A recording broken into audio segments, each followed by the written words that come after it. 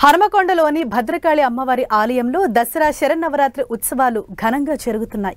అమ్మవారిని దర్శించుకునేందుకు భక్తులు భారీగా తరలి వస్తున్నారు అమ్మవారి తెప్పోత్సవం కోసం భద్రకాళి చెరువులో ఆలయ అధికారులు పెద్ద ఎత్తున ఏర్పాట్లు చేశారు. అమ్మవారి దర్శనం కోసం భారీగా తరలి వస్తున్న భక్తులతో భద్రకాళి ఆలయ పరిసరాలు కిటకిటలాడుతున్నాయి. భద్రకాళి శరణం మమ నామస్మరణతో ఆలయ పరిసరాలు మార్మోగుతున్నాయి. ఆలయంలో నెలకొన్న తాజా పరిస్థితి గురించి తెలుసుకునే ప్రయత్నం చేద్దాం. మా ప్రతినిధి కుమారస్వామి మనకు అందుబాటులో ఉన్నారు. కుమారస్వామి ప్రస్తుతం భద్రకాళి ఆలయంలో భక్తుల కోలాహలం ఏ విధంగా ఉంది? ఈ రోజు అమ్మవారికి జరిగే కార్యక్రమాల గురించి వివరించండి.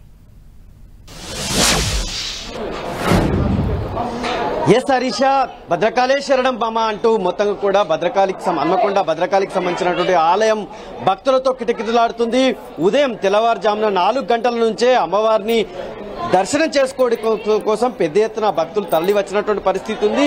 మొత్తం భద్రకాళి అమ్మవారు. ఎనిమిది రోజులు ఎనిమిది రూపాయలుగా దర్శనమిచ్చినటువంటి భద్రకాళి అమ్మవారు అని అమ్మవారు ఈరోజు దసరా నవరాత్రుల ఉత్సవం సందర్భంగా తెలంగాణ రాష్ట్రంతో పాటు వివిధ రాష్ట్రాల నుంచి భక్తులు పెద్ద ఎత్తున తరలి వచ్చారు తెలంగాణ ఇంద్రక ఇంద్రకీలాద్రిగా ప్రసిద్ధి చెందినటువంటి అమ్మవారిని దర్శనం చేసుకోవడం చేసుకోవడం కోసం ప్రసన్నం చేసుకోవడం కోసం భారీ ఎత్తున వివిధ ప్రాంతాల నుంచి భక్తులు వచ్చారు. ఈరోజు విజయదశమి కావడంతో భక్తులంతా కూడా మొత్తంగా కూడా ఇక్కడ ఉన్నటువంటి ఆలయానికి రావడంతో ఆలయం అంతా కూడా కిటకిటలాడుతున్నటువంటి పరిస్థితులు మనం చూడొచ్చు.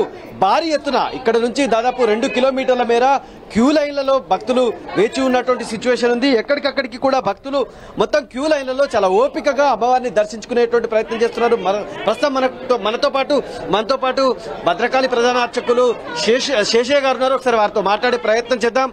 ఒకసారి సార్ చెప్పండి ఈ రోజు అమ్మవారికి సంబంధించినటువంటి ప్రశస్తం ఏంది భారీ ఎత్తున భక్తులు వచ్చారు. ఎట్లా ఎట్లా ఉంది ఈ సార్? విజయదశమి.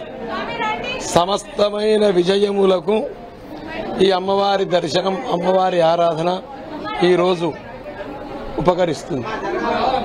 ఈరోజు ఇవాళ నవమితో కూడా నవమి కూడా ఈ రోజే అయినందున అమ్మవారికి నవరాత్ర ఉత్సవములకు నిశుంభ దుర్గా నిర్ణయింది ఈరోజు శుంభ దుర్గా.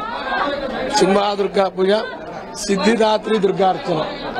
నవరాత్ర వ్రతానికి వాళ్ళ ఆచరించిన వారికి సిద్ధి కలుగుతుంది. సిద్ధులను అక్కడ అల్లడం సిద్ధులను ప్రసాదిస్తుంది.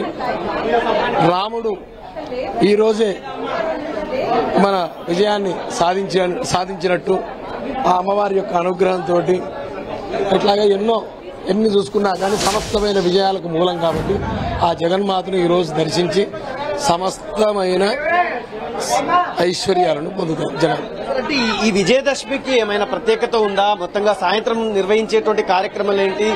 పెద్ద ఎత్తున ఉన్నటువంటి భక్తులు క్యూ లైన్లో వేచి ఉన్నారు. వాళ్ళకి అందరికి కూడా దర్శనం పట్టడానికి అన్ని సకల సౌకర్యాలు ఏర్పాటు చేశారు. మన ఇతిహాస పురాణాలలో విజయదశమి అనేది విజయదశమి గురించి ఎన్నో గాథలు ఉన్నాయి.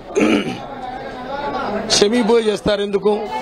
అర్జునుడు అజ్ఞాతవాసంలో పోయేటప్పుడు తన ఆ ఆయుధాలన్నిటి శమి వృక్షంలో పెట్టుకొని ఈరోజు ఆ విషయాలను తీసుకుంటా ఆ మా ఆయుధాలన్నీ స్వీకరిస్తాడు. కాబట్టి ఆ ఆయుధాలను భద్రపరిచింది శమి వృక్షం.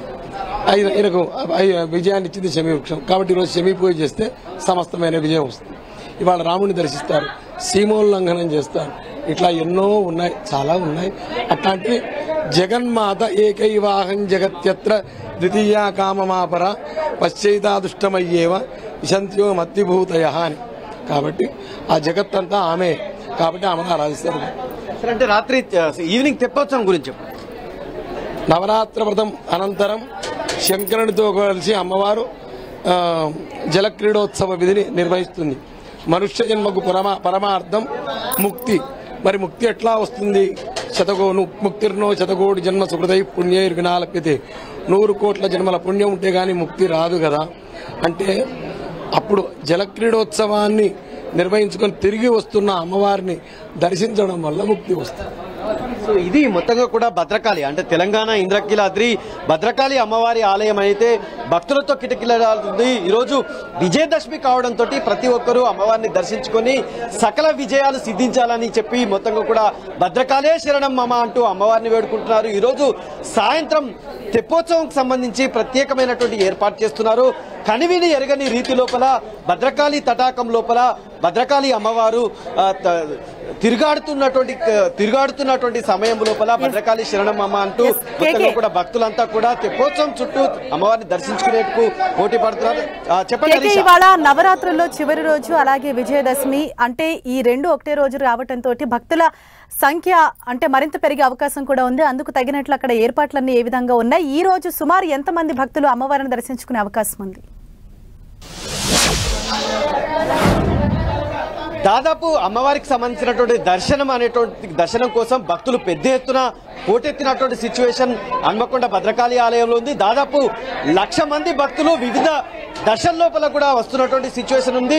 భక్తులకు భక్తుల సంద- భక్తుల దర్శనం అనేటువంటిది నిన్నటి నుంచే పెద్ద ఎత్తున స్టార్ట్ అయినటువంటి సిచ్యువేషన్ ఉంది. ఈ రోజు ఉదయం అయితే పతాక స్థాయికి చేరినటువంటి సిచ్యువేషన్ భక్తుల సందర్శన అనేటువంటి జరుగుతున్నటువంటి సిచ్యువేషన్ ఉంది. ప్రధానంగా మనం చూడొచ్చు అంటే ఆ, ఏపీ తెలంగాణ అదేవిధంగా బీహార్ ఒరిస్సా ఈ రకంగా వివిధ రాష్ట్రాల నుంచి భక్తులు పెద్ద ఎత్తున తరలి వస్తున్నటువంటి సిచ్యువేషన్ ఉంది. చూడొచ్చు భక్తులతోటి ఆలయం ఏ రకంగా కిక్కిరిసిపోయినటువంటి సిచ్యువేషన్ ఉందో. చాలా ఓపికగా ఇక్కడ ఉన్నటువంటి అర్చకులు కావచ్చు అదేవిధంగా దేవాదాయ శాఖకు సంబంధించినటువంటి అధికారులు కావచ్చు పోలీసులు కావచ్చు పెద్ద ఎత్తున బందోబస్తు చేసి చాలా ఓపికగా అమ్మవారిని భక్తులందరికీ కూడా దర్శనం చేసుకునే విధంగా దర్శనం అయ్యే విధంగా వీళ్ళంతా కూడా ఏర్పాట్లు అయితే చేసినటువంటి పరిస్థితి ఉంది. ప్రస్తుతం ప్రస్తుతం ప్రస్తుతం మనతో పాటు ఈవో గారు ఉన్నారు ఈవో శేషభారతి ఉన్నారు. ఒకసారి శేషభారతి మాట్లాడ చెప్పండి మేడం. తెలంగాణ ఇంద్రకీలాద్రి అమ్మవారిని దర్శించుకునేందుకు వివిధ రాష్ట్రాల నుంచి భక్తులు వచ్చారు. ఏ రకంగా ఏర్పాటు చేశారు? సకల సౌకర్యాలు ఏర్పాటు చేశారా? భక్తులకు సంబంధించిన అంచనా ఏంది? ఈరోజు విజయదశమి. వరంగల్ మహానగరంలో భద్రకాళి అమ్మవారు అద్భుతంగా పది రోజుల నుంచి మరి నవరాత్రులతో అమ్మవారి నవ అలంకారాలతో అద్భుతంగా అలంకరించబడి ఈరోజు నిజరూప దర్శనానికి రావడం జరిగింది. అమ్మవారు మరి ఆ అమ్మవారిని విజయదశమి అంటే విజయాలను కలిగించే రోజు.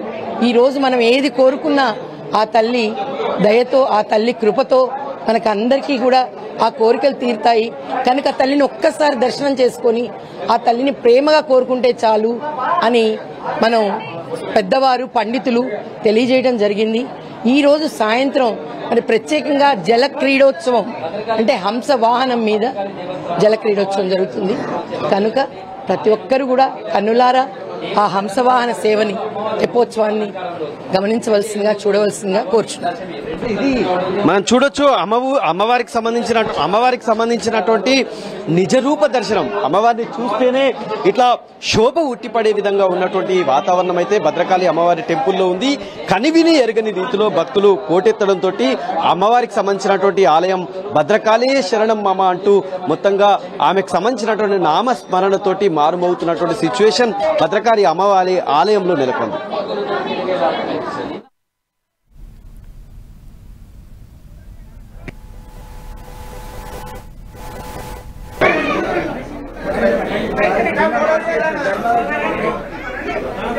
నడవాలి